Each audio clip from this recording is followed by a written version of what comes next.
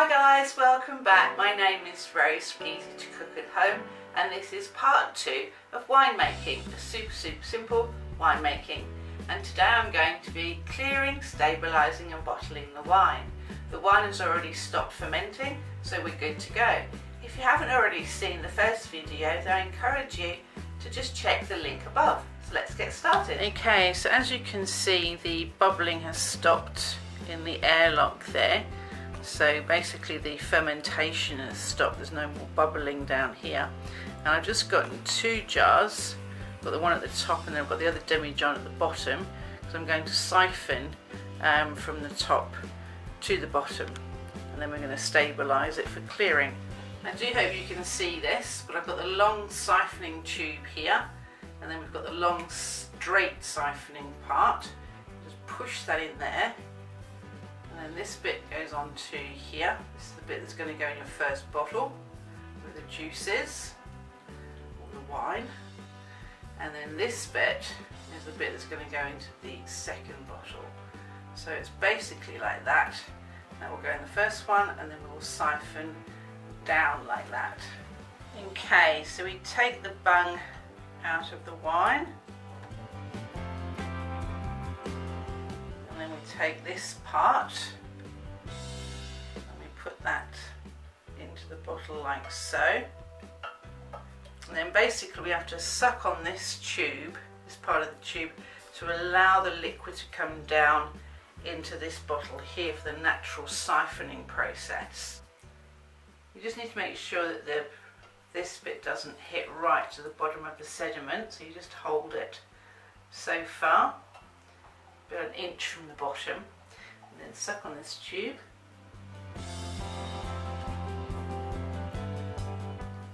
straight into that demijohn.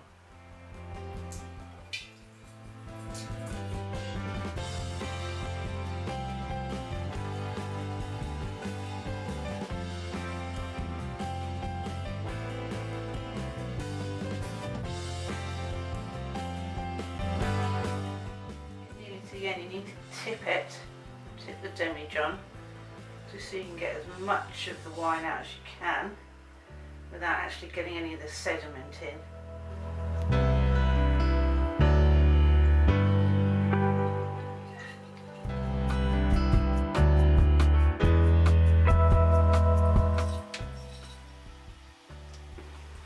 Okay, so then we've got this here, now we need to stabilise it. Okay, so we just need to fill it up with some boiled cooled water and then we'll add the stabiliser to stop the fermentation process. You need to fill it up with water because um, you don't want any air getting in. Okay, so just add a teaspoon of stabiliser and then with a clean hand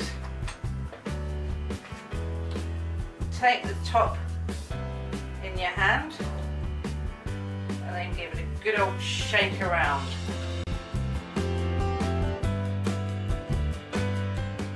This will allow any of the gases from the yeast to come up. Just give it a shake a few times.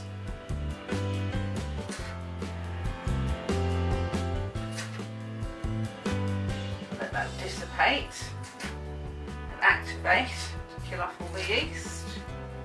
And then you put the bung back in the airlock, a sterilised one. I can't use this one now because it's gone to the table.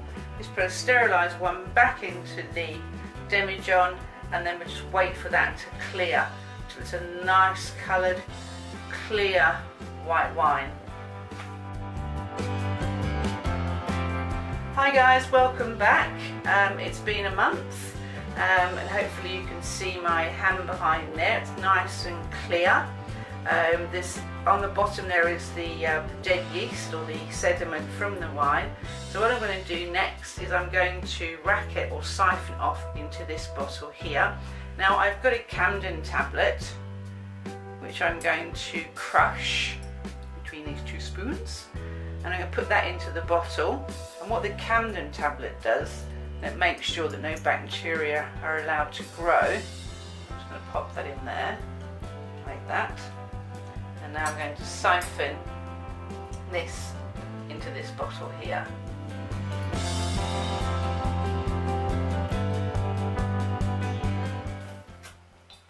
Mmm, tastes nice.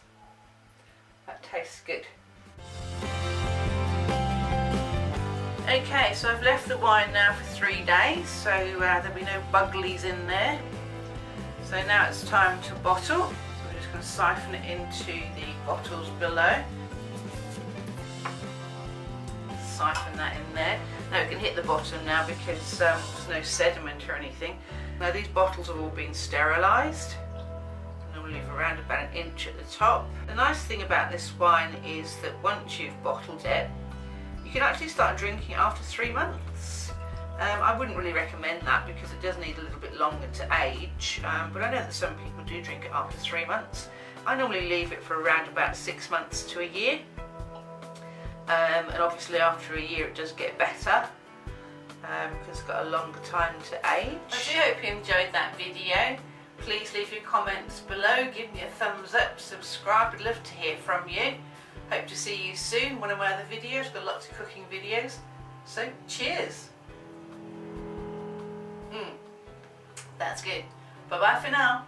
And today I'm going to be clearing, stabilising and bottling the wine. If you haven't already seen part one, I'll leave it upstairs in the link.